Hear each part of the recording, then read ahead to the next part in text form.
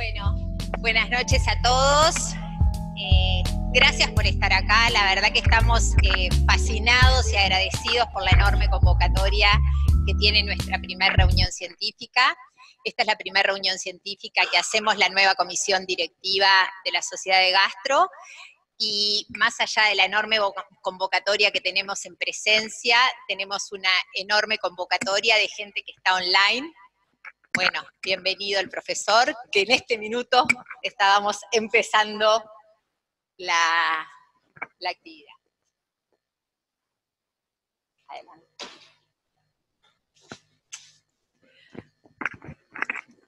Bueno, como les decía, un placer enorme ver este Ateneo lleno. Cuando vine a conocerlo, realmente dijimos cómo llenamos esto y nunca nos imaginamos que íbamos a tener esta enorme convocatoria en nuestra primera reunión científica.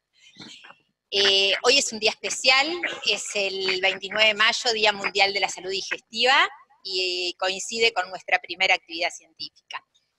Eh, tenemos colegas de varias especialidades, por lo cual les voy a contar un poquito cómo nace el Día Mundial de la Salud Digestiva, el Día Mundial es un día que nosotros festejamos desde el año 2003, cuando el profesor Cohen en la Organización Mundial de Gastroenterología propone la idea de crear un Día Mundial de la Salud Digestiva. Desde esa fecha, todos los gastroenterólogos, el 29 de mayo, convocamos, de acuerdo a un tema que lo, decide la Organización Mundial en conjunto con la Fundación de, la, de Gastroenterología, propone un tema que se debate a nivel de las distintas sociedades miembros de la Organización Mundial y que de alguna manera discutimos todo lo que es prevalencia, prevención, diagnóstico y tratamiento de determinadas entidades. Este año el tema propuesto por la Organización Mundial de Gastroenterología fue diagnóstico y tratamiento precoz del cáncer gastrointestinal. Es así que hoy vamos a tener una mesa con varias especialidades, con colegas de distintas especialidades, donde vamos a debatir dos de los cánceres digestivos de mayor prevalencia, el cáncer gástrico y el cáncer de colon. Antes de pasar de lleno a la actividad científica de hoy, y sin quitarles más tiempo, pero me parece que es un poco lo que nos ha llevado a esperar y a comenzar un poquito más tarde, eh, cuando llegó Ana Laura me dijo, ¿qué día buscaste para empezar la primera actividad científica?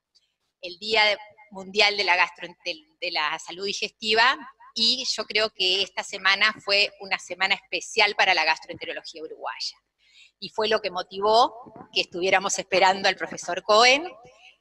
El día, esta semana eh, todos nos enteramos el premio que recibió Henry, nombraron a Henry máster de la Organización Mundial de Gastroenterología. Es un enorme reconocimiento que la Organización Mundial le da a pocas personas por, de alguna manera, la actividad que han realizado a lo largo de estos años, ya sea en lo que es la investigación académica, la docencia, la actividad dentro de la WGO o en la comunidad.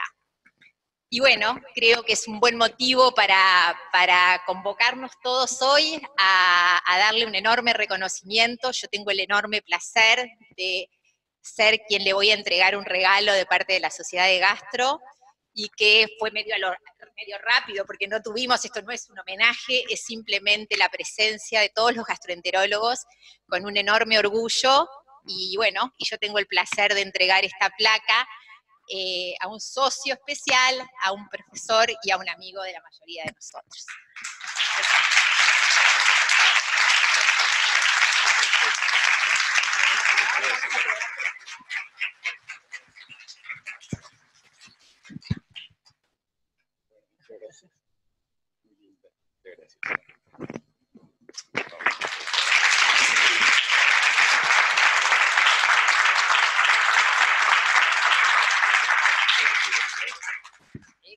Bueno, muchas gracias. Me muero de vergüenza, primero porque llegué tarde, avisé, pero eso no me exime de haber llegado tarde, teneme esto, Cris. Y segundo, porque no esperaba esta... Bueno, esta semana he pasado con Daniel Tolar, que he hablado bastante esta semana, sabe que me he pasado de, vergüenza en vergüenza, porque nunca esperaba, bueno, eh, no voy a decir que no esperaba en algún momento ser reconocido, porque son cosas que estando volviéndose viejo, las cosas pasan, pero no esperaba la repercusión que tuvo esto. Y tuvo una repercusión muy emocionante para mí, de que empezó con un tuit de mi hija y con la reacción de mi hijo, y después del resto de la familia y después del resto de los amigos, eh, entre cual entre los cuales muchos de ustedes están en una lista muy privilegiada de mis afectos más cercanos, eh, y luego de los alumnos y luego de los pacientes, que me veo realmente anonadado, eh, emocionadísimo. Esto es un punto más de la emoción. Eh, le deseo a toda la nueva comisión directiva del Mayor de Sexto, seguro que lo van a tener, están trabajando muy bien, pero además que sea Susana, que no solo compartimos la fonética del apellido, eh, sino que tuve la suerte de que ella cursara cuando, no sé qué cargo tenía yo, eh, pero además tenemos una amistad que excede lo personal, también la comparto con Gabriel y nuestras hijas también la mantienen hasta el día de hoy, así que es muy lindo para mí recibirlo de tus manos y también eh, que haya otra gente como acá Cristina que me recibió con su amabilidad y cariño de siempre, que Cristina estaba conmigo y yo estaba con ella, mejor dicho, porque ella es más joven de edad pero más vieja en el posgrado. Cuando prestamos el primer trabajo en la vieja sociedad de gastroenterología en la calle Agraciada, ¿verdad? Que nos venían a decir unos días antes quién tiene algo para presentar, no eran estas épocas de éxito que empezaron a cambiar por allá por los años 90.